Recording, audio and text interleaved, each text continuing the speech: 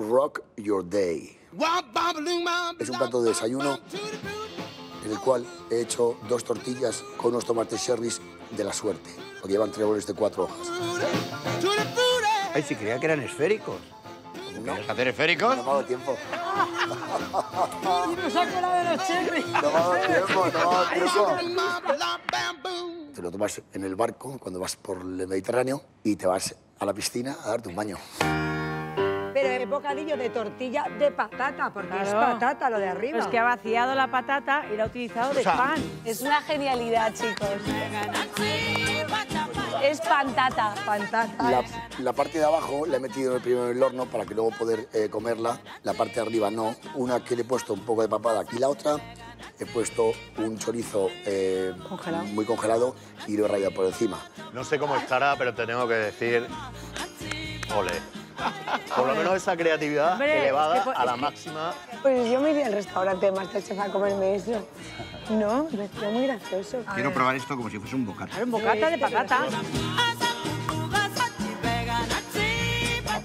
Qué bien le queda el granizado de chorizo, ¿eh? Me da un botadito de patata. Yo no sé qué decir. Yo no sé qué decir. Yo también, me he quedado en blanco. Esto es el nuevo kebab, ¿eh? te lo digo. ¿Lo estás viendo?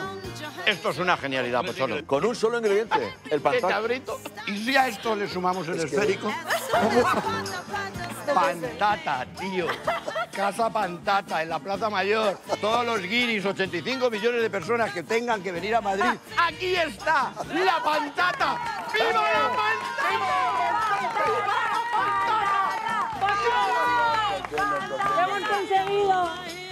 Pantata es pues, el nuevo bocadillo de, panta- de, de patata con lo que sea dentro, ¿no? Pues es divertido. Aparte que es rico de comer, porque lo coges así, puedes comer, es, es como un bocadillo sin pan. Tiene gracia. Genial, es genial. Es maravilloso su cabeza.